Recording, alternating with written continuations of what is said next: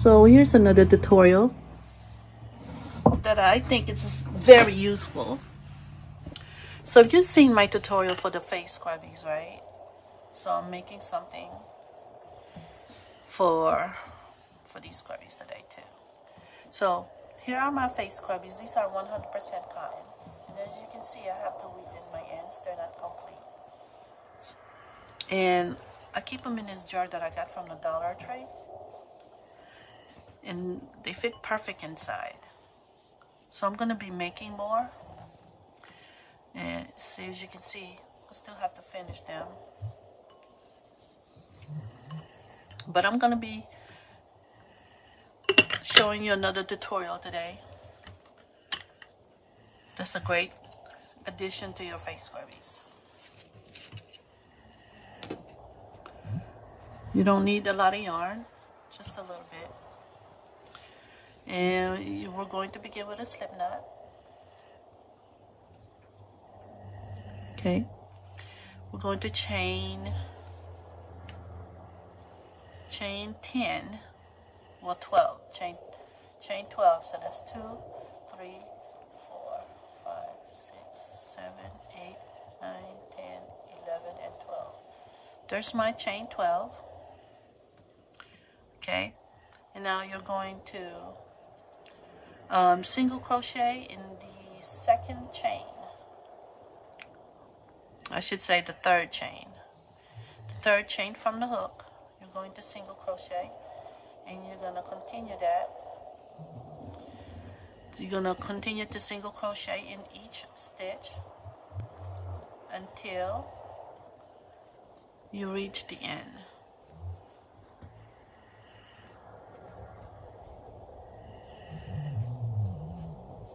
so we're just single crocheting.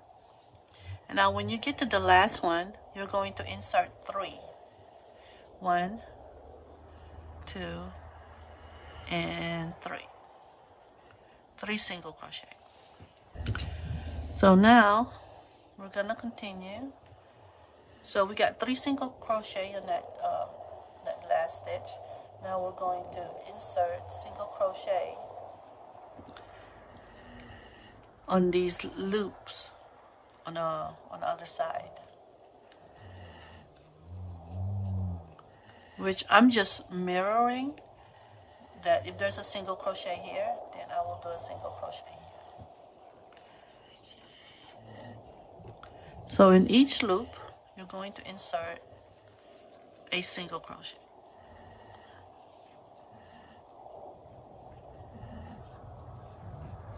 So you should have the same amount of single crochet here as you do on this side.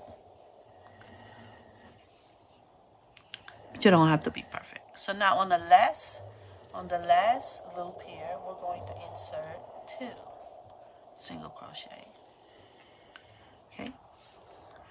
And then now you're going to yarn over and you're going to double crochet on top of this chain two from the beginning of the row single crochet.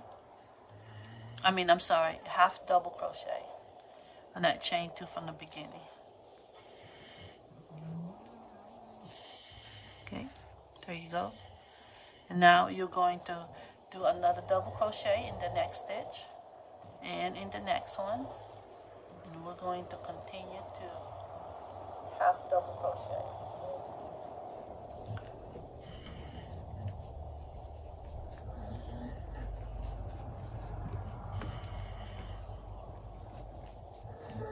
okay another half double crochet. And another one. Okay. And this is going to form like a like a canoe which is just fine.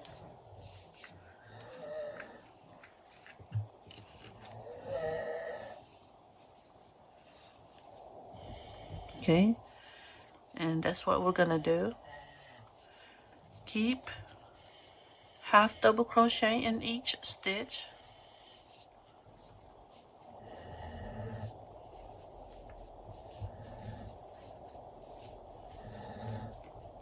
until you get to the last um, single crochet here. So now we're on this half double crochet. You're going to chain one and single crochet. Chain one, skip the stitch and single crochet. Chain one, single crochet. Chain one, skip a stitch, single crochet. Chain one, skip a stitch, single crochet. Chain one, skip a stitch, single crochet. Chain one, skip a stitch, and single crochet. There you go. See, as you can see, it's forming into like a canoe. And you're just going to continue that. Skip a stitch, single crochet. Chain one, skip a stitch, single crochet. Chain one, skip a stitch, and single crochet. Chain one, skip a stitch, single crochet. And you're going to keep doing that till you get to the, to the part where you have a chain one and single crochet. So I'm I'm I'm on my um my first single crochet space here. So I'm going to chain one and insert my hook in the in this chain one space and insert a single crochet. Chain one, so you're going to skip this stitch, this single crochet, and you're going to go inside the chain one space and you're going to single crochet. Chain one, insert your hook inside the chain one space and single crochet. And I love this pattern, which I use a lot on many of my projects. and I will show you how it looks like. So you want to continue the pattern of chain one and inserting your crochet hook inside that chain one space to form a single crochet. And what you will have, and you're just working in rounds. Okay? So you're just working in rounds. And what you will have is a pattern like this. So this pattern allows the water and the soap to penetrate easily inside. So when you put your soap inside the soap saver, you can actually use it to body scrub. So again, chain one insert your hook in a chain one space and single crochet and just do that until it's until you get about the size of your soap. Now and then I'll show you how to uh, how to finish and complete the pattern.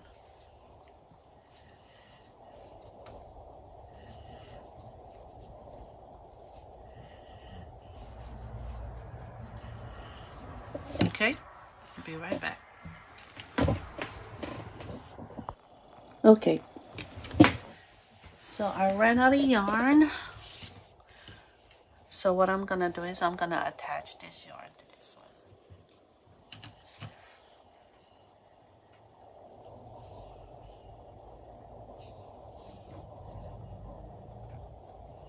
one. Okay. And now I'm going to chain one and continue my journey.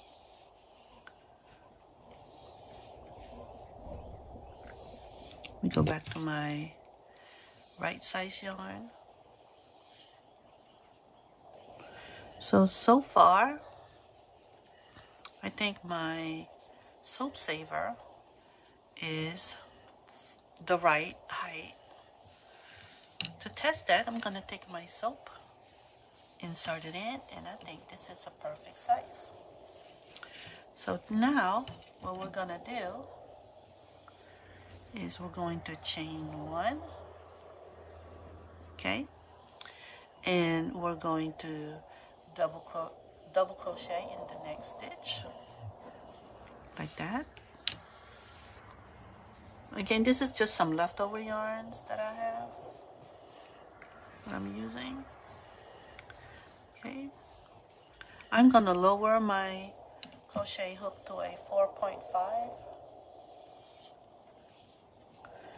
So going to insert a double crochet in the next chain one space and then double crochet in the next stitch.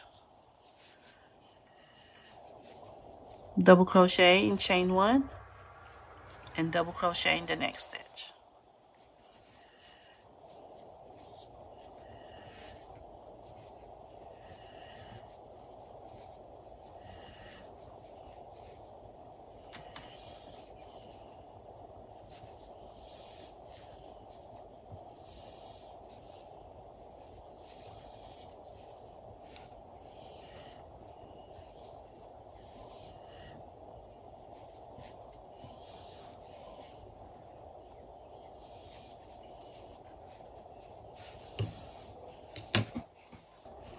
I'm to continue my double crochet.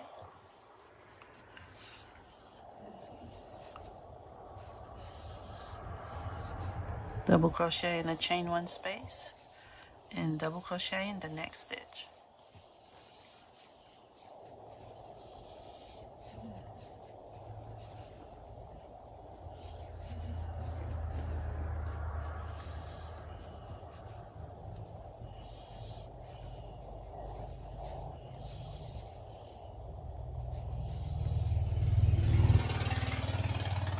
and the next one I'm just going to half double crochet and then to complete the row slip stitch. Okay? And pull my yarn all the way through. Use my needle here.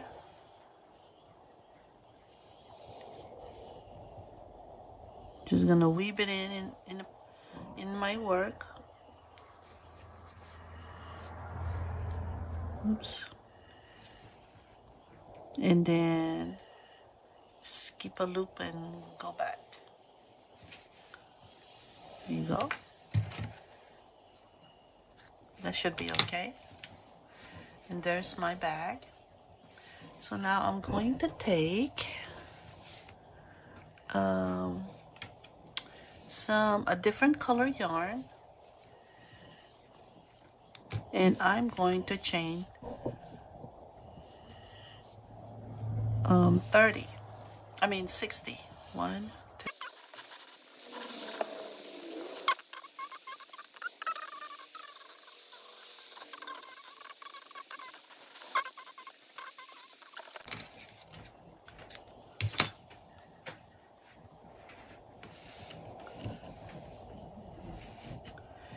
So now I have my 63 chains.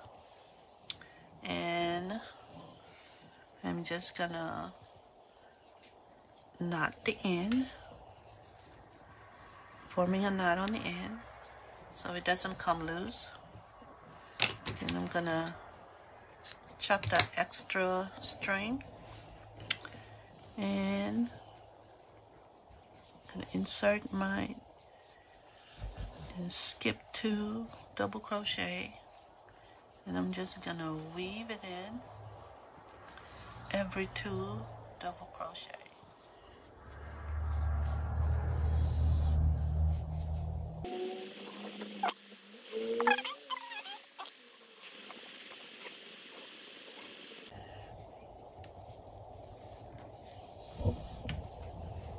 There you go. So now you can put your soap inside the pouch and cinch it. And there is your lovely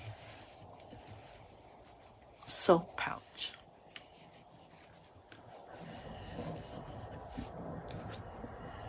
If you enjoyed this tutorial, please give us a thumbs up and hit that like button.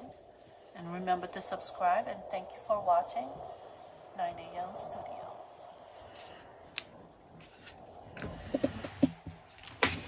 Mm-hmm.